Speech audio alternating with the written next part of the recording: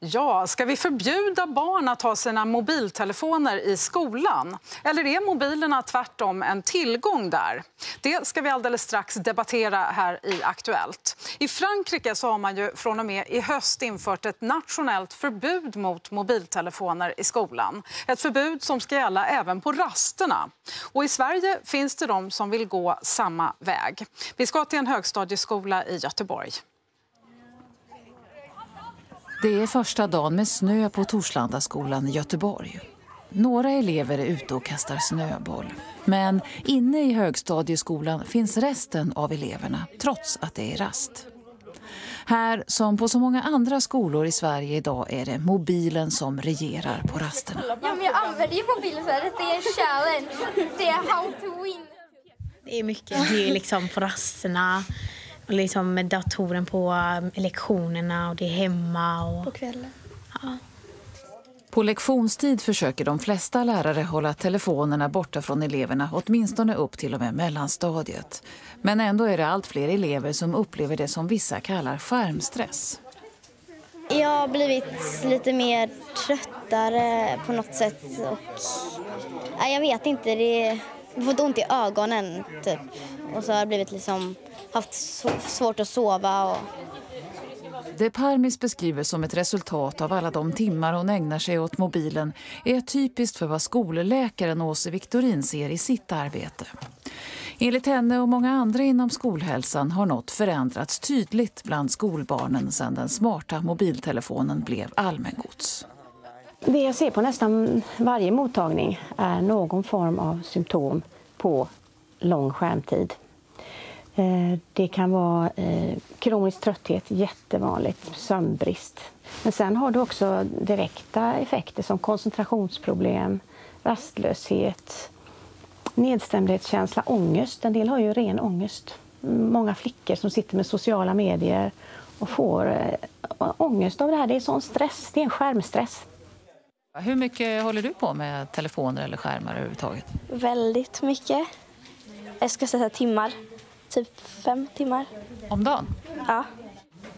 Har du tänkt att du kanske skulle minska ner lite på skärmanvändandet? eller? Jag försöker, men det går inte jättebra. Det är ett beroende.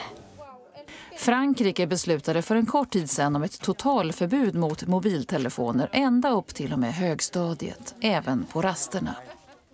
Men om detta är rätt väg att gå råder det delade meningar. Jag tror att det är viktigt att vi som skola också tar tillfället att eh, ha en dialog med eleverna hur man ska förhålla sig till tekniken.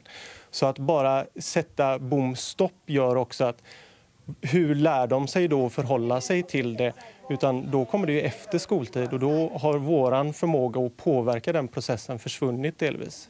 Samtidigt är jag ju för att barn och ungdomar ska in med i digitaliseringen och lära sig använda datorerna som arbetsverktyg. Det är fantastiska verktyg. Så att det ska vara balans. Men den här enorma slagsidan mot att sitta stilla i ensamhet när man behöver utvecklas i verkligheten. Där är balansen fel idag och det är alarmerande. Mm, så välkommen till Anders Hansen, överläkare i psykiatri och författare bland annat till boken Hjärnstark. Och Joakim Jardenberg som är rådgivare och föreläsare i frågor som handlar om internet. Um, du tycker att mobiltelefoner ska förbjudas i princip i skolan. Varför då? Jag tycker att mobiltelefoner ska förbjudas hela skoldagen eller stora delar av skoldagen. Och grunden till det, det är att mobiltelefoner har en fantastisk förmåga att aktivera hjärnans belöningssystem.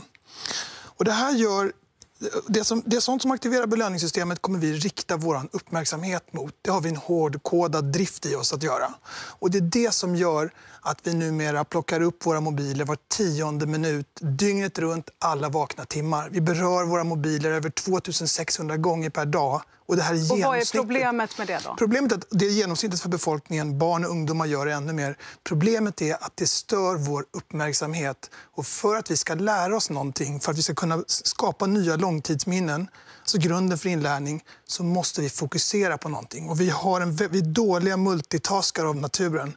Och mobilen drar för mycket i vår uppmärksamhet och det stör fokuseringen. Och därefter kommer vi inte att lära oss lika bra. Mm förbjuda? Vad säger du? Nej, jag tycker vi ska förbjuda förbudet i så fall. För att oavsett, om vi, oavsett i vilken omfattning vi, vi lyssnar på Anders eller vi, vi lyssnar på det som sägs här där man pratar om skärmstress och mobilberoende och så vidare så är det utmaningar som, som vissa av våra barn har. Och var ska vi i så fall lära dem att hantera det? Hur ska vi hjälpa dem att ta kontrollen över de här problemen? Om inte i skolan. För uppenbarligen, du vet, 98 procent av alla sexåringar är redan aktiva internetanvändare och det har de ju valt själv. Så uppenbarligen så finns ju redan den här tekniken i deras liv. Och om de då kommer till skolan och har problem med det här, ja då måste ju skolan ta sitt ansvar för att försöka hjälpa dem att hantera det. Men om den finns i så stor del av deras liv, måste den också finnas i skolan då? Så? Ja, för att om vi tar bort den och tar ifrån dem all möjlighet att och kontrollera det här själv och få hjälp att kontrollera det här, då har vi inte löst problemet, då har vi bara duckat för det. Har inte skolan en viktig roll här att faktiskt eh, lära barnen hur de ska hantera det? Absolut. Och jag menar, vi, digitaliseringen tror jag är den mest omvälvande samhällsförändringen som vi går igenom. Så naturligtvis, det kan man inte blunda för. Det här är liksom ingen analog nostalgi, att man ska, att man ska blunda för digitaliseringen. Så är det inte. Och jag tror att digitaliseringen innebär enorma möjligheter att skapa bättre Eh, undervisning på många sätt. Men det innebär det är inte samma sak att man ska, man ska få tillgång till mobilen fritt i klassrummet. För det drar för mycket i vår uppmärksamhet. Det kan vi inte, det kan vi inte riktigt hantera. Mm. Jag tänker på, det är mobilerna som särskilt har det här belönings... Eh, att vi känner oss belönade och lätt blir så att säga, beroende. Kan det inte räcka med datorer i skolan jag menar, för att digitaliseringen ska få genomslag? Varför måste man få mobiler? Ja, men det är ju igen för att oavsett om vi bara ser det som ett lärande verktyg med enorma möjligheter eller vi ser att det finns en problembild runt det så behöver den problembilden i så fall lösas. Alltså vi behöver ju hjälpa de barnen och de ungdomarna som har de här problemen problemen som Anders bland lyfter upp. Och det kan vi inte göra genom att en liten del av dygnet ta mobiltelefonen ifrån dem. För det enda vi gör är att vi blundar för problemet. Jag tror att vi behöver röra oss ifrån att mobiltelefonen är en, en störande distraktion till att det blir en del av infrastrukturen för det livslånga lärandet. För det tar ju inte slut när skoldagen tar slut. Mobiltelefoner är utvecklade för att vara maximalt beroendeframkallande. Och den, intressant att den amerikanska utvecklare som heter Tony Fadell som var en av de som utvecklade iPhonen nyligen berättade att han blir, vaknar upp kallsvettig på nätterna när han tänker på hur hans barn reagerar när han plockar bort mobilen från dem. Så det, det, jag, jag säger inte att man inte ska använda... Vad är det du är mest rädd för med mobilerna i skolan? Då? Vad kan effekterna bli? Effekten tror jag kan bli att vi hela tiden stör vår koncentration. Vi matar oss med ny information och hjärnan ska hela tiden hantera den här informationsfloden som väller över en och då har vi inte tid att liksom konsolidera, bygga in nya minnen, lära oss saker substantiellt. Det tror jag är risken. Hur menar du så här, konkret? Hur, ska skolan, hur realistiskt är det att skolan ska kunna bemöta det där? Nej, men det är precis lika realistiskt som att skolan ska arbeta mot mobbing och att vi ska arbeta för värdegrunden. Alltså, skolan har ju väldigt många uppdrag som inte bara handlar om att överföra kunskap utan som handlar om att skapa medborgare som kan fungera i ett demokratiskt samhälle. Och om vi under den korta perioden som de befinner sig i skolan blundar för det här problemet genom att kasta bort telefonen och låsa in den från skoldagens början till skoldagens slut, då tar vi inte ansvaret för att göra den till en del av, av det livslånga lärandet. Vi tar inte ansvaret för att hjälpa i synnerhet de som har problem med det här.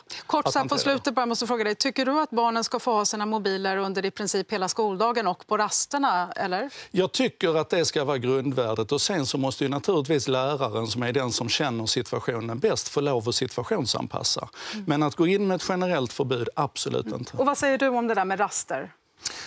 Alltså jag, jag tror att man ska ha definitivt ett mobilförbud på lektionerna. Och helst på rasterna skulle jag säga det också, därför att barn blir för stillasittande. Och fysisk aktivitet är enormt viktigt för inlärningsförmågan. Men definitivt på lektionerna i alla fall. Mm.